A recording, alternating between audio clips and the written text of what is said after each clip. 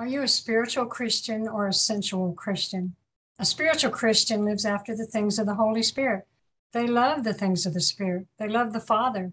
They love the living Jesus Christ, and they love to crucify the sinful deeds of the flesh. They love to spend time just praising the Father, walking and talking with Him, thinking about Him, loving Him, singing to Him, and not spending so much time in the flesh. A sensual Christian is a person that is religious, but they live after the flesh. They go to church and quote scriptures, cling to their Bibles. They claim to keep the Ten Commandments. While the spiritual Christian is led by the living Jesus Christ through the Holy Spirit, by dreams, visions, revelations, and the voice. They hear the voice of Jesus Christ.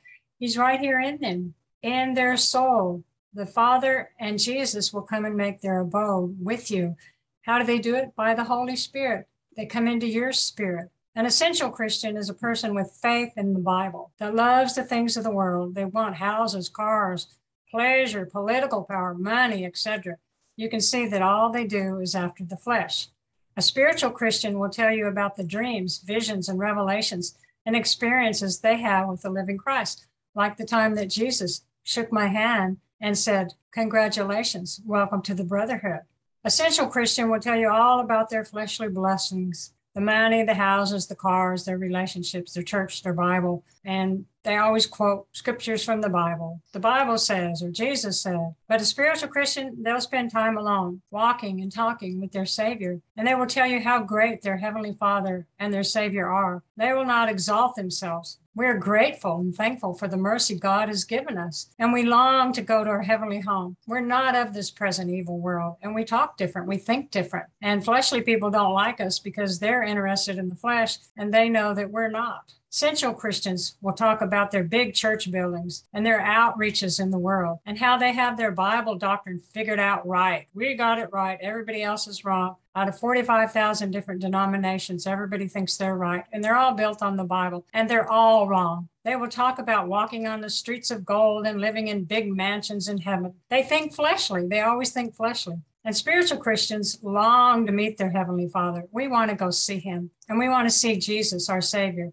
We long to live in a new world where there is only love, peace, and holiness. But sensual Christians, they defend themselves and say that the Bible says they are forgiven. They long to meet their fleshly, earthly family over there. They will always say, The Bible says. Jesus said they never get a fresh living word of faith from the living Jesus Christ or the Holy Spirit. Everything they has is from 2,000 years ago, the dead letter. They think that God quit speaking 2,000 years ago. They think the living resurrected Jesus is way off a million miles in heaven and doesn't speak to us except through a dead letter history book that has to go through the carnal mind. And besides that, they all sin continually. Only a few will be saved from this deceived generation that depend on book knowledge and not on knowing the living God through the Holy Spirit. Soon Jesus will take what few children he has left on this wretched planet and leave the rest of you to your own demise while quoting Bible scriptures and saying that God said, God, you said in your word. Well, guess what? That isn't God's word to you, and He will not hear you. He will not answer you. Why should He? You wouldn't hear Him. You are sensual. You're not spiritual, which means you love the flesh and not the Holy Spirit. You know not God. You know about Him. You love the idea of God. You love the image that you have built in your mind of God from reading the Bible, and you build yourself up in your own minds that you're of God, that you love God, and that He loves you. But you never have re- repented from living after the flesh flesh. You never have come to him and give him your heart. You're still carnal.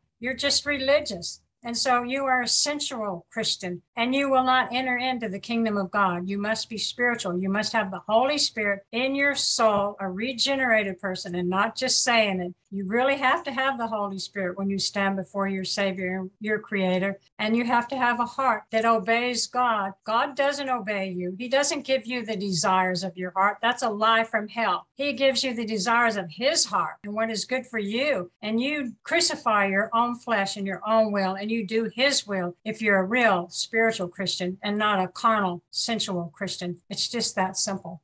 Well, I was walking in a valley of sin and shame. The Lord looked down, spoke my name, no lie. In that valley could I see. Well, the Lord said, I want you to do my work. Said, yes, Lord. I'm every shirt, not a shadow of a doubt. Jesus brought me out.